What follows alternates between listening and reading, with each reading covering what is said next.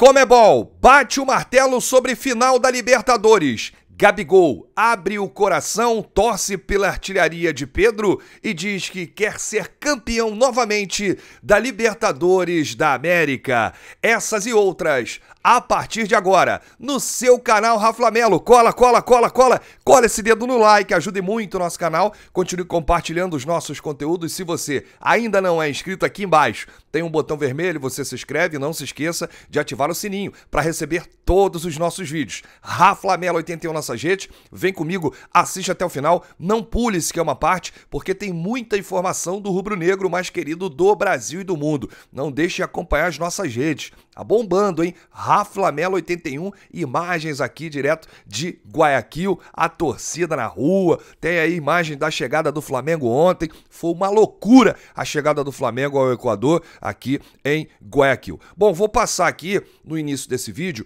a programação do Flamengo. Nesta quinta-feira, o time treina no estádio Jorge Capoel, estádio do Emelec, às 3 da tarde, horário aqui do Equador, 5 da tarde, horário de Brasília.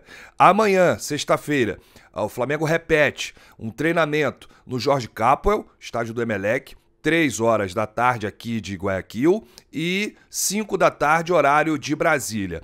E após o treinamento de amanhã, o Flamengo vai ao estádio monumental do Barcelona de Guayaquil, né, o estádio Banco Pichincha, para fazer o reconhecimento do gramado. E aí descansa, porque sábado tem a grande decisão da Libertadores da América. Gente, ó, o coração tá batendo mais forte, a ansiedade tá aumentando, tá mil. Faltam dois dias para a grande final e a ficha tá caindo aos poucos cada vez que a gente encontra os rubro-negros nas ruas aqui de Guayaquil. Gente, é a terceira final do Flamengo em quatro edições, né? Nas últimas quatro edições da Libertadores, é a terceira final do Mengão. Com a melhor campanha da história do Flamengo na Libertadores. O Flamengo chega com 11 vitórias e um empate.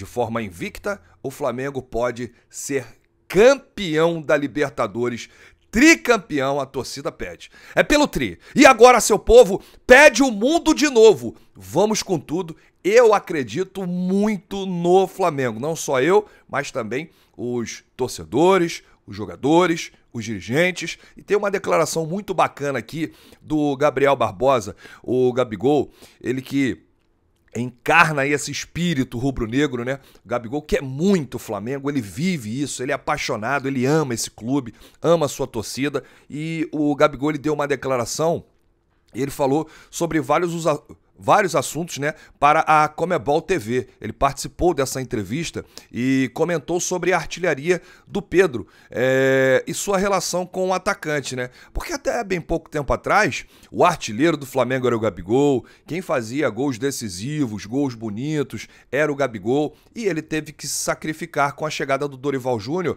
para o Pedro, né, se dar bem e começar a fazer os gols. E futebol não é individual, né, gente? Futebol é conjunto. Não adianta você fazer 10 gols gols lá na frente e tomar 20 gols lá atrás. Então é um conjunto e o Gabigol tá vivendo uma fase incrível, é, um, é uma posição diferente, mas ele tá muito feliz e ele abriu o coração e disse o seguinte sobre o Pedro: o que importa mesmo é o time.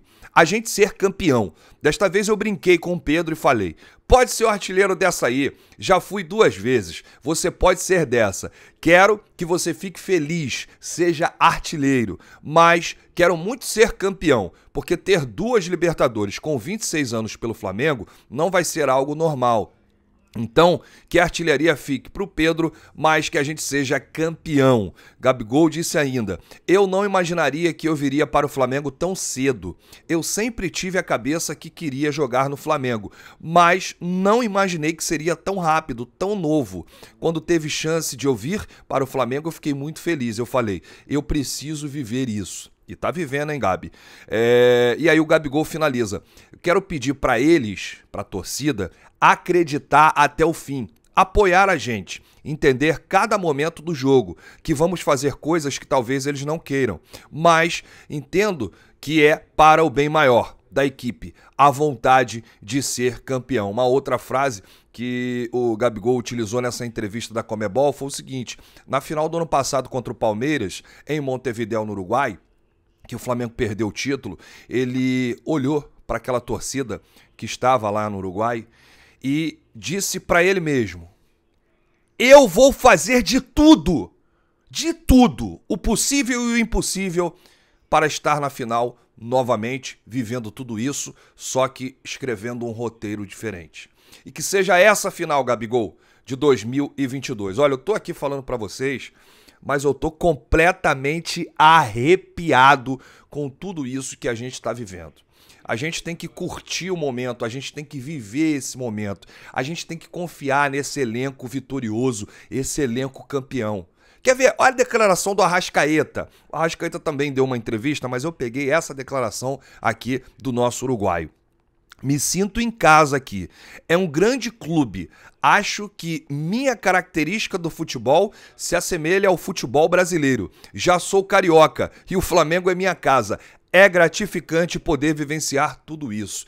É o nosso Arrasca, é o nosso uruguaio do coração para mim, o maior estrangeiro que já passou pelo Flamengo em termos de números, em termos de futebol. O Arrasca joga muita bola e vai ser o diferencial no próximo sábado nessa final da Libertadores. E você tá confiante em quem? Quem que você acha que vai fazer aí o gol ou os gols, né, do jogo? O Flamengo vai vencer? Deixa aí nos comentários porque eu quero fazer esse termômetro, saber como é que tá o nível de confiança do torcedor rubro-negro. Porque aqui as ruas de Guayaquil, os torcedores chegando, só tá aumentando o número aqui de rubro-negros do Flamengo, porque eu vi poucos é, torcedores atleticanos, eu vi poucos torcedores do Atlético Paranaense. Dá para contar na mão, no dedo. Agora, a torcida do Flamengo realmente é uma loucura. Estão espalhados em vários pontos aqui de Guayaquil. Bom, por falar em Libertadores, a Comebol bateu o martelo, hein, gente?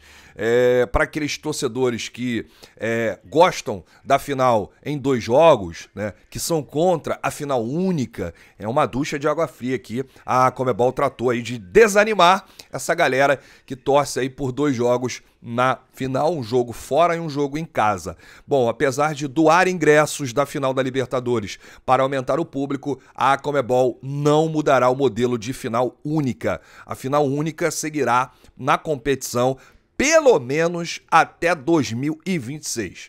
Para mudar, a Comebol teria que rever acordos comerciais e publicitários. Um motivo para a Comebol apoiar a final única é a questão técnica. Nas últimas 10 Libertadores com final em dois jogos, é, em oito, decidiu em casa. Quem decidiu em casa foi campeão. O Alejandro Domingues, presidente da Comebol, é um dos principais defensores da final única. Olha, eu sou muito a favor da final da Libertadores acontecer em dois jogos. Porque a Comebol, quando ela passou a ser final única, ela começou a imitar a UEFA Champions League, né, que é um jogo só.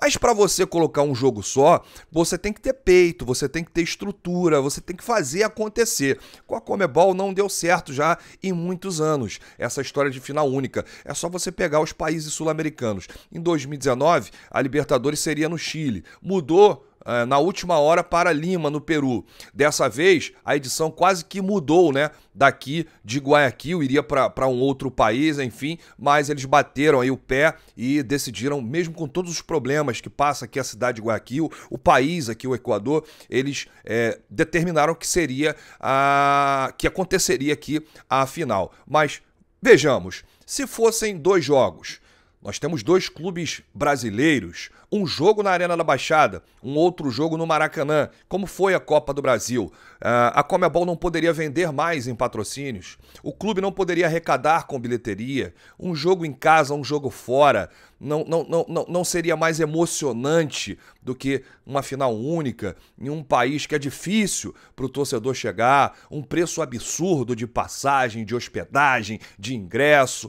E aí? Eu deixo na balança para o torcedor decidir, para o torcedor é, resolver essa questão aí. Eu queria saber muito a sua opinião. Você é a favor da final única, do jeito que acontece a Comebol Libertadores da América, ou não? Você é a favor da maneira antiga, dois jogos, um na casa do adversário e um na sua casa? Deixa aí nos comentários para a gente debater, eu vou interagir com você aqui no chat.